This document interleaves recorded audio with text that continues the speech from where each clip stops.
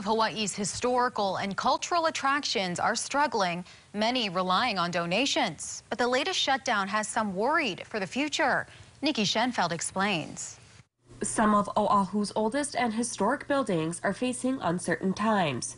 Iolani Palace was struggling after the first shutdown. Residents helped support the palace this summer with memberships and donations, but the latest shutdown is a blow.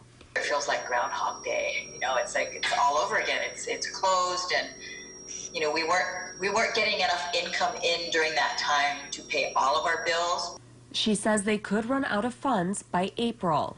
I'm, I'm afraid of the loss of momentum because we were really it was really exciting to see all of our Hawaii people coming to the palace. The State Foundation on Culture and Arts says it'll distribute CARES funding on September 1st. So the State Foundation did receive $427,500 in CARES um, that will be going out, um, very needed, and that's for jobs, for keeping the lights on. We did a survey and there was a $9 million need um, for a three month period for the cultural institutions that, that participated in that survey statewide.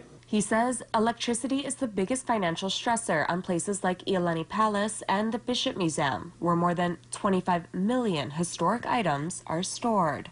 Um, all the stuff that the visitors don't see behind the house, behind uh, behind the scenes, is really um, artifacts, uh, treasures from the monarchy, archival materials, holotype specimens, and all of that does have to be kept in 24 7 um, in environmentally controlled spaces. Hawaii's oldest theater is in much more trouble. The Hawaii Theater Center has not been able to open since the pandemic began. We've had zero ticket revenue uh, since February of 2020. It's been absolutely devastating for us. Theaters have no time frame on when they can reopen to the public, so the theater has been staying afloat with live streaming shows and donations.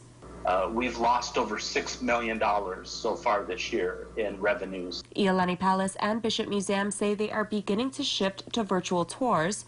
To find out how you can help, go to KHON2.com. Nikki Schenfeld, KHON2 News, working for Hawaii.